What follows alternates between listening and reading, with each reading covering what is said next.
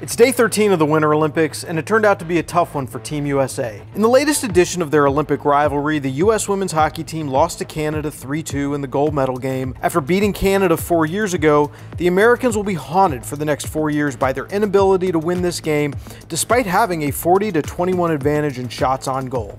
Mikaela Shiffrin's puzzling Olympics continued in the Alpine combined event. After posting the fifth fastest time in the downhill portion, she skied out in the slalom after losing her balance at gate 10 and failed to finish a race for the third time at these Olympics. In some good news, three American women made Friday's free ski halfpipe final, led by Brita Sigourney, a bronze medalist four years ago. Additionally, all four American men qualified for the men's free ski halfpipe final, including David Wise, who is looking for his third gold in the event. Team USA picked up another medal in speed skating, with Brittany Bowe finishing third in the women's 1,000 meters. Here's what else is happening on Friday. In bobsled, the two woman heats began with pilots Kaillie Humphries and Elana Meyers Taylor looking for more medals after finishing with gold and silver in the monobob.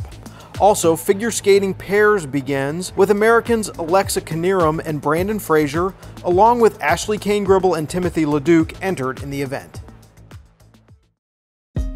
Hey, thanks for watching. If you like this video, check out these other videos from USA Today to stay up to date with all the latest news.